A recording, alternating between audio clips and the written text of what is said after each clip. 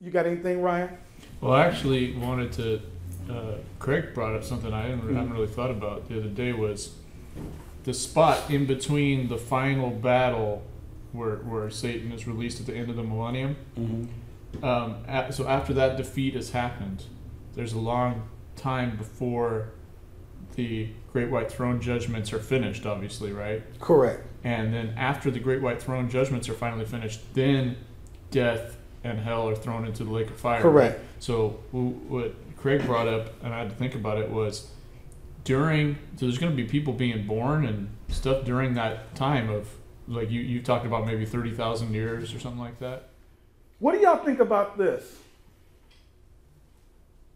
Is that event is going to be so significant? Because where it says, "From whose face the throne, whose face the whole heaven and earth fled."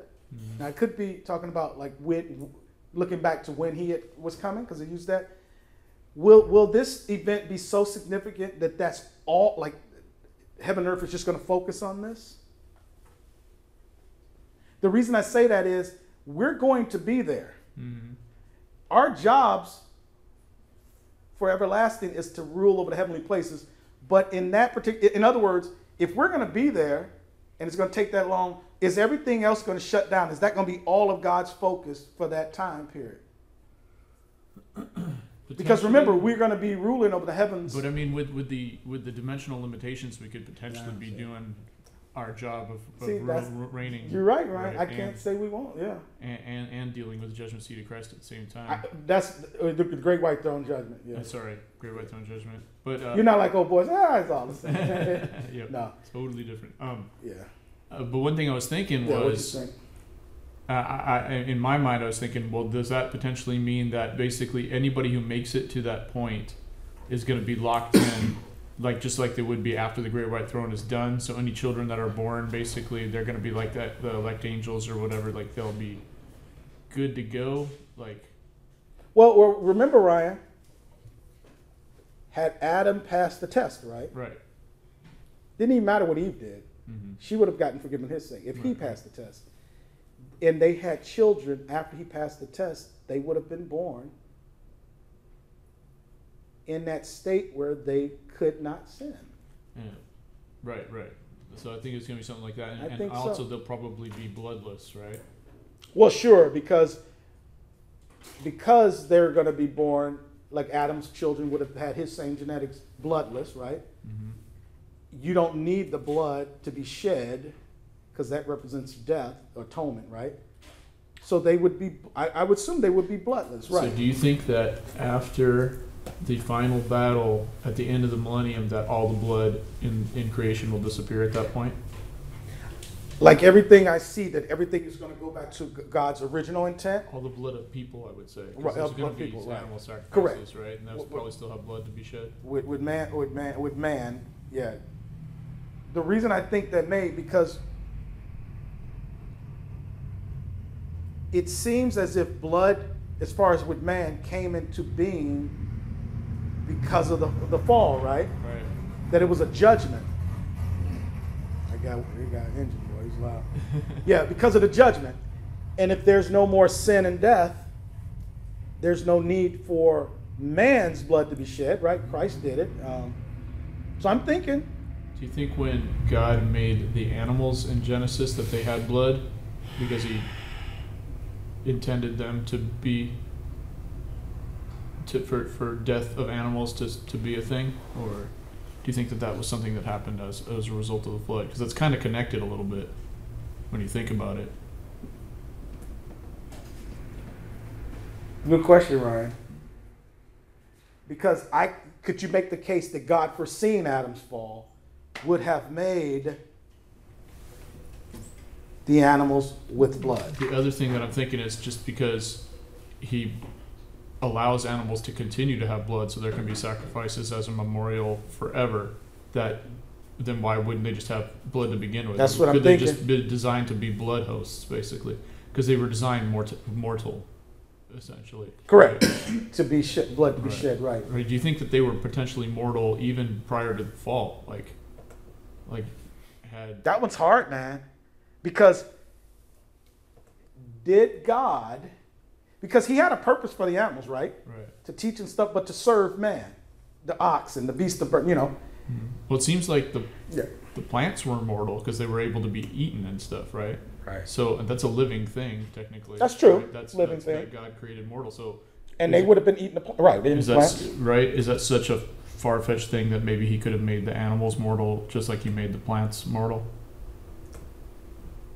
And and for this particular purpose, because one animal wasn't a lion wasn't tearing up a, a, a, another, you know, it wasn't eating on a sheep or some a kid, right? right. Not until In, after. in well, to after the falls, but Mhm. if, if he did make them with blood, and not, it- and it- not, not until after Noah, right? That, that's when he right after the after the, the flood. right.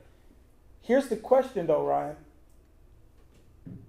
If God put blood in the animals when He made them, with the only purpose for doing that is because those animals' blood represents the shed blood of Christ Right. for atonement. right. But if Adam had not fallen or had not sinned and, and, and, and been judged, would that have been a necessity for Christ to come and shed his right. blood? Right. You know what I'm saying? Good point. Because Christ wouldn't have any blood to shed had he come in Adam's lineage. Because remember, they were flesh and bone, right? hmm If he was an offspring of Adam, which he was, So do you think? How about this then? Do you think that only the animals that are the clean animals for sacrifice will continue to have blood, and the rest of them will go back to not having blood? boy, you crazy, man. this is the type of stuff that that's insane, but that's right. Because I can't say no. It's like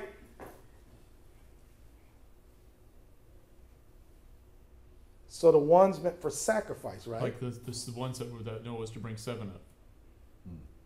Maybe only those. as well as the un, so the unclean would not. because there's no reason for them. No 'cause they reason, would never right, be right. sacrificed, right. That's deep, man. So that's maybe right. Doesn't that kind of make logical sense?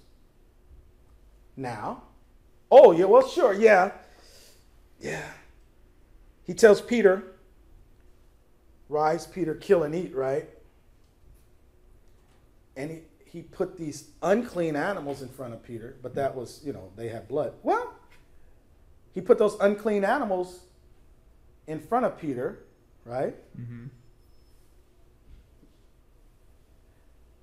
Why do those unclean animals have blood now, right? All those unclean animals, everything from the mi- mice on up, they have blood now, right? I think it's because the, because of the curse on the creation, Okay, right? right, okay. Because it, it, Adam brought it into himself, and okay. Right. And and, and the th- the reason that Peter was to do that was you God was was that kind of like a, a precursor to kind of letting him know that the dispensation of grace was happening. Yeah, it was that the Gentiles were Gentiles clean, right? Were clean, right? So it was like an object lesson for him. That would be crazy if the un, if the unclean animals had no blood, and the clean animals did, right? Right, right. That's what I'm thinking. And the unclean, so the unclean animals would not be subject to death anymore, but the clean animals would be because they're needed for sacrifice, and that would be their role.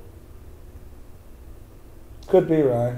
Remember when it I gotta says think a, about a, a kid can handle it's next to a snake and a lion wouldn't do its thing. I mean, uh, without, without this blood, I guess their behavior has changed also, right? Like a lion. Right. He, he took he, he he took away the enmity Yeah. and the I don't know if the, there's necessarily a connection to the blood, but Yeah, that's what I'm thinking. but it's know. just that he changes it back to the way it was before Noah, before Ah. there was Yeah. enmity, Mhm.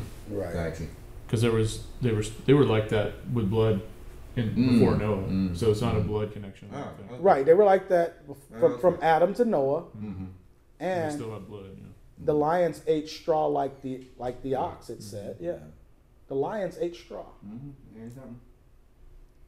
So um so yeah so That's interesting. I got to think about that, Ryan. I never thought about that. So even down to the point, would the unclean animals have no blood? And, Just simply would, be flesh Would no and bone. people then have blood at all? No, no, there'd be no reason for the babies being born or the people, the Gentile nations, the, sh- the the sheep of the sheep and goats. Would the blood go away from them after the final test was Oh, after the final test, Uh-huh. could be yes. right? And then there'd be no more blood of people. I, I'd have to say lean towards that because right when he created Adam, Mm. Man, woman, and child would go into like the pre uh, the pre uh, fall state. Of Yes, Adam, the pre-fall. Yeah. But even more so because he was subject to death still potentially, right? Adam, Uh, I mean, Yes. he could right die, whereas like because. God gave command says, "If thou eat it, thou shalt surely die." If death, if there's no more death, then no. So th- Right. there's your answer right, there. Yeah, that's there's no more death. So then, no, so then they Adam probably wouldn't actually- have they wouldn't have any blood then because basically. So, so you know what it tells me, Ryan? Even though Adam had no blood, he still he still wasn't glorified yet. Mhm. You know, what, Whereas was, they- he they were being able a to, glorified He was able state. to be changed into a body that would have blood, so he could be subject to death, right? Say that again, Ryan. He was able to be changed into a body that could have blood, so that he would be subject to death. I think these glorified bodies, uh, even like bodies terrestrial, they they're gonna be no longer able to be converted to bodies No, that can right. have blood because they're because death, Death is no longer an no option. longer death. Yep. He gets rid of all sin, all death. Gets rid of hell. Hell. A place for people. Right. If so, if, if you if you do sin and reject God's uh, counsel against you and, and, and don't and don't receive His forgiveness, there's not a place for you to go. So it, it, Right. it- there's no need for blood then, right? No no bloodshed, no death, no hell. Yeah. Although, although it does seem that he's able to throw people into the lake of fire and, st- and, and circumvent the hell intermediary, right? You're talking about at the end of the? Uh, Great White Throne. He's throwing people directly into the lake of fire, right? Well, he does throw uh, the false prophet and the beast into the lake of fire. right. So he's but af- but after after the after the let's assume let's say I, I sometimes think because of let's say it could be 33,000 years she's dealing with everybody right all Right. these laws at the end of that when he's when we're done with that no more folks to sentence Right.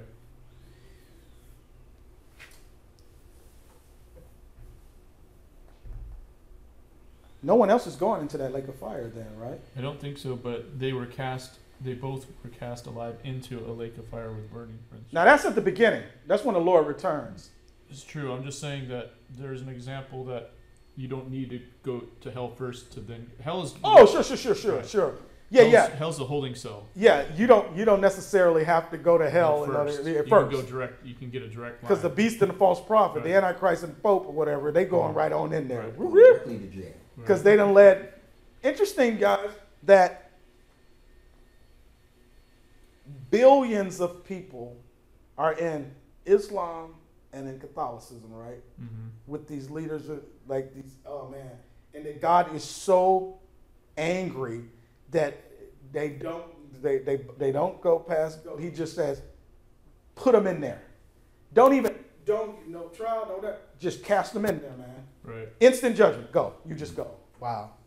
Where everybody else gets the trial and stuff, hear the case, God is just cast them in there, It's man. like I already know the deal. Yep.